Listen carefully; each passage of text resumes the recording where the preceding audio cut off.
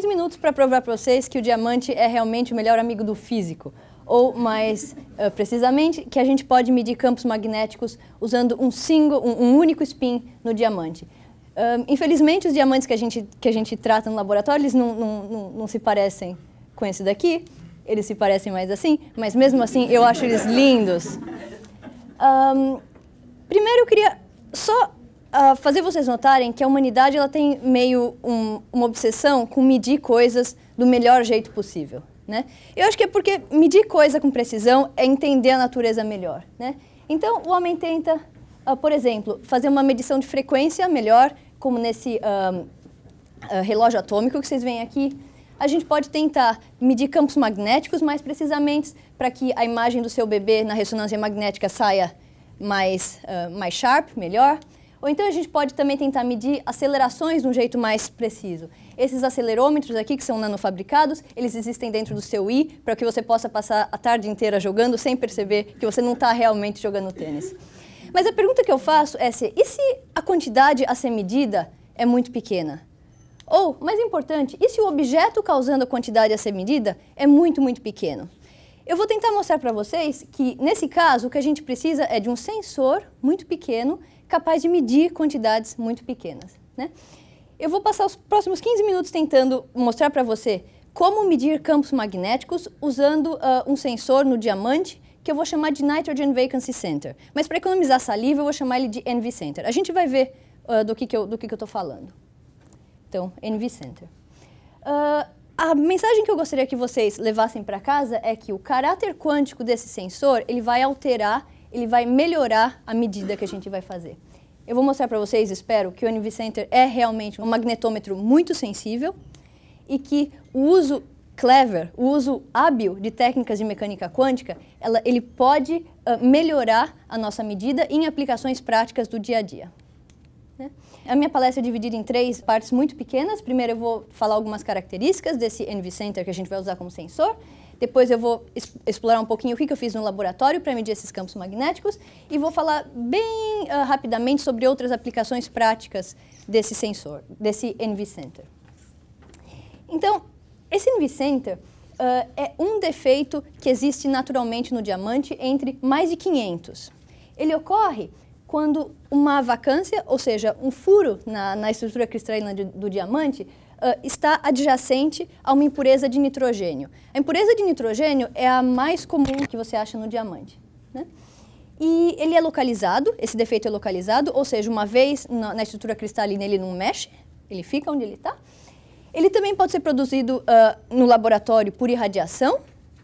E, muito importante, ele é um chamado color center, quer dizer que ele, esse defeito absorve luz e ele floresce. A gente joga luz nele e ele joga a luz de volta num comprimento de onda menor.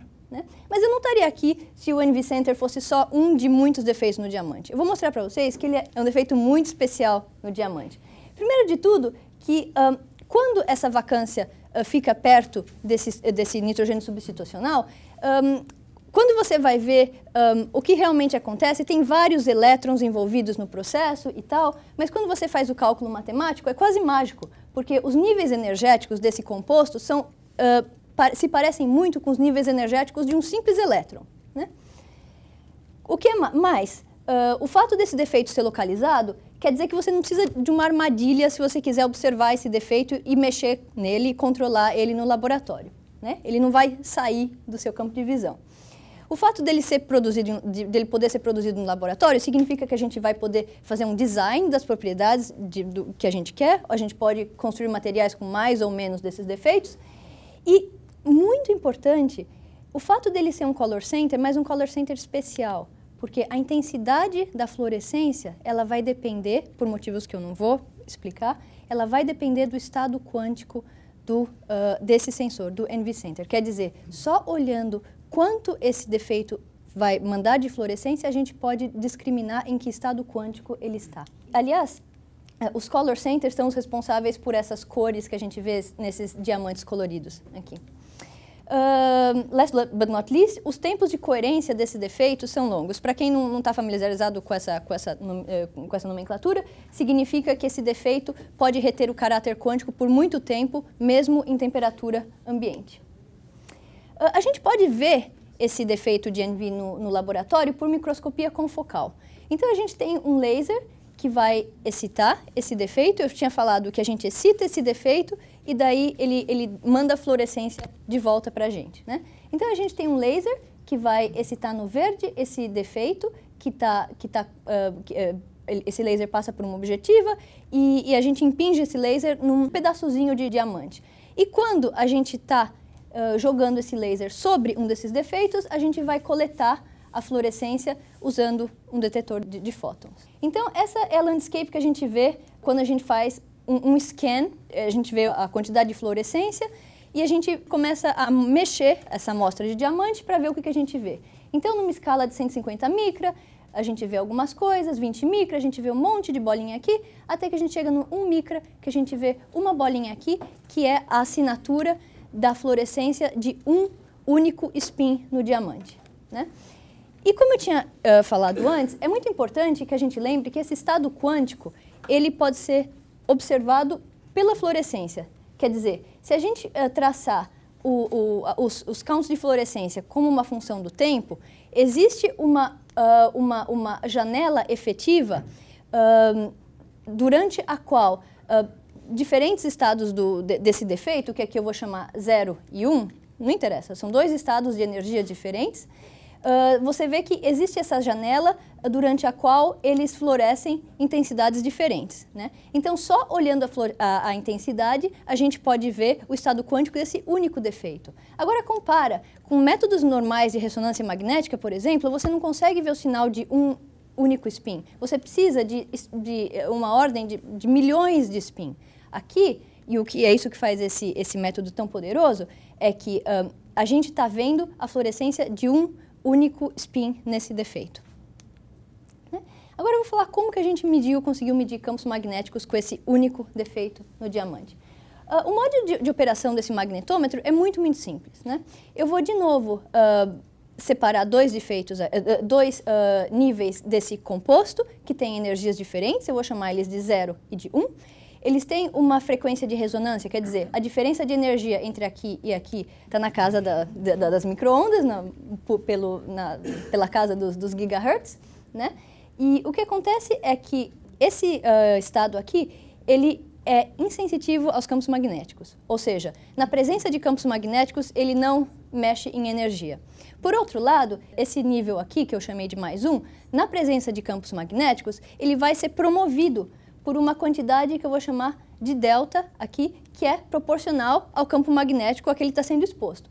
Então fica muito fácil, porque uh, medir o campo magnético significa realmente medir essa dissonância aqui, esse, esse, um, esse, esse delta que vai levar você fora de ressonância uh, que a gente espera na ausência de campo magnético. Né? Mas tem um porém, eu não vou falar muito sobre ele, mas assim, só funciona enquanto as propriedades quânticas durarem. E é por isso que é muito interessante que a gente use esse defeito, blá, porque ele tem um tempo de coerência muito longo. Né? Uh, então, o ponto que eu quero fazer é que esse defeito, que é minúsculo, ele sente campos magnéticos que são minúsculos, ou, melhor dizendo, ele sente a presença dessas dissonâncias delta que são minúsculas. Né? Então, olha o que, que a gente tem. A gente tem um tipo de uma nanosonda que por ser muito pequena pode ser trazida bem próxima da amostra que a gente quer sentir, que, cujo campo que está produzindo o campo magnético que a gente tá, quer sentir, né? E porque ele é extremamente uh, sensível, a gente pode sentir essas dissonâncias causadas por, por um ou alguns poucos spins que estão próximos aqui. Então, a visão é ter um tipo de uma, de uma sonda com na tip, aqui bem na pontinha, ter um desses defeitos, né? E tentar sentir os campos magnéticos uh, de alguns poucos ou um spin aqui, porque a gente pode fazer a monitoração dessa, dessa dissonância. Né? E assim a gente pode uh, pegar imagens muito mais precisas né, do, de campos magnéticos, porque a gente pode, em vez de precisar de um milhão de, de átomos dando sinal para a gente, a gente pode vai para uma escala de alguns átomos produzindo esse sinal. Mas a questão é a seguinte, qual é o melhor jeito de medir essas dissonâncias? Tem vários jeitos, né? Eu vou propor um jeito, uma resposta, que é o jeito que a gente estudou. A gente, um jeito de medir essas dissonâncias é com pulsos especiais de, de microondas. Né? A gente vai usar o que é chamado uma sequência de rotary echoes. Uh, Para os engenheiros, um, o Rotary Echo, uh, em, em, resumo, significa que a gente está colocando uh, no nosso sistema microondas que tem uma amplitude que varia desse jeito, tac, tac, tac, tac, tac. Para os engenheiros também, isso significa que a gente está uh, fazendo um, um switch da, da, da, fase da nossa, da nossa microonda um, a, a, a, periódico, a gente está tá mudando a fase da nossa microonda, né? E esses rotary echoes, eles foram introduzidos, eles, eles, eles, uh, a origem deles é no campo de ressonância magnética e ele, eles são usados como uma sequência de correção. Do mesmo jeito que quando você vai numa caverna, você fala, ah, no começo você está ouvindo a sua voz, daí você não ouve mais a sua voz, até que as ondas estão uh, viajando, batem no fundo da caverna e voltam para você, o momento que você com, uh, ouve a sua voz de novo. Um, essa sequência foi utilizada uh, como uma correção. É o mesmo princípio, porque você, você tem alguma coisa acontecendo, então você aplica essa sequência para você medir de novo um sinal que você não conseguia medir mais. Do mesmo sentido que um eco, no começo você ouve, daí você para de ouvir e daí você volta a ouvir de novo. Então, esse rotary echo era usado como uma sequência de correção. Mas se sabe que esse, um, essa sequência de correção não corrige dissonâncias, o que é muito bom porque a gente quer medir justamente essas dissonâncias, né?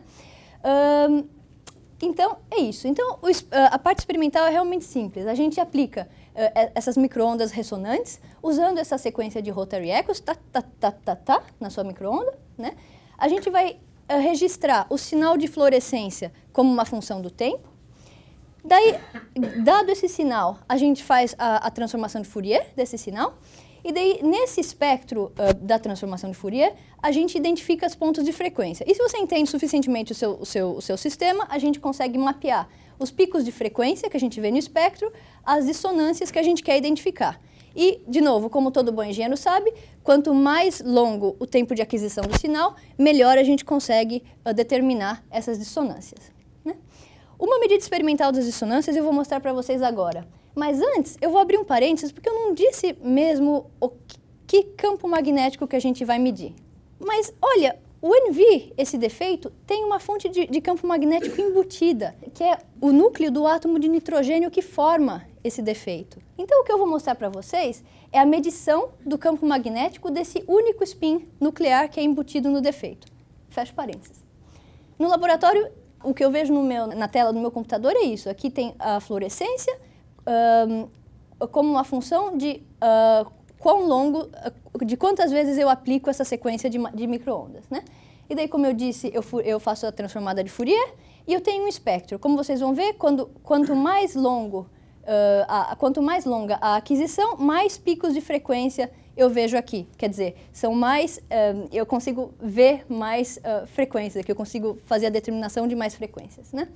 E se você sabe como que seu, o seu sistema está respondendo a essa sequência de pontos, o que a gente sabe, a gente consegue determinar essas dissonâncias, uh, delta 1 e delta 2, na, na casa dos megahertz, uh, que transformados em campo magnético dá coisa menos de menor que 1 Gauss. Só para comparação, o campo magnético da Terra é de 0,5 graus. Então a gente está conseguindo ver no nosso laboratório campos magnéticos que são menores do que o campo magnético produzido pela Terra. Uh, muito rapidamente, um slide de outras aplicações, então, que usam esse caráter quântico do, nitro, do, do, do NV Center. Uh, a gente pode, como mais ou menos no mesmo espírito do que eu disse, um, fazer uma sonda de rastreamento magnético, fazer sondas biológicas, mapear superfícies um, magnéticas, medir campo elétrico, temperatura, uh, medir tempo por, pelo relógio atômico e uh, a gente pode também pensar em usar o NV Center como uma unidade fundamental do computador quântico. Uh, a visão é ter um computador quântico feito uh, com unidades fundamentais de NV Center. Uh, Para quem entende um pouquinho de, de, computação quântica, o NV Center ele um, cumpre todos uh, os requerimentos necessários para um computador quântico que estão aqui. E a visão é que, em vez de ter um NV Center, a gente possa um, colocar muitos NV Centers juntos para a gente ter um tipo de uma estrutura uh, de computador, né? E as pessoas estão começando a fazer isso, eles conseguem implantar uh, patterns regulares de NV Centers né, para fazer esse tipo de arquitetura. O, cada NV Center é essas bolinhas aqui que vocês veem. Então, eu mostrei para vocês que o NV Center é realmente um sistema quântico excepcional, porque têm, ele tem propriedades que permitem o controle quântico. eu mostrei para vocês como a gente mediu o campo magnético de um só spin nuclear, né? ou seja, esse NV Center é um magnetômetro muito legal. E todas as outras aplicações que usam o caráter quântico do NV mostra realmente que a, a direção é tentar utilizar a mecânica quântica para uh, ajudar a fazer coisas no nosso mundo clássico. Então, eu espero ter convencido para vocês que o caráter quântico do sensor realmente melhora à medida que o magnetômetro que eu mostrei para vocês é uh, reliable, é muito, muito bom, exatamente porque ele usa essas técnicas de mecânica quânticas para melhorar a, a medida. Né? Esse trabalho foi feito no Quantum Engineering Group, uh, que começou em 2009 com a minha chefe Paula Capelaro. Se vocês quiserem fazer uma visita, a gente está no MIT dos, uh, 26305, né? E era isso que eu tinha a dizer.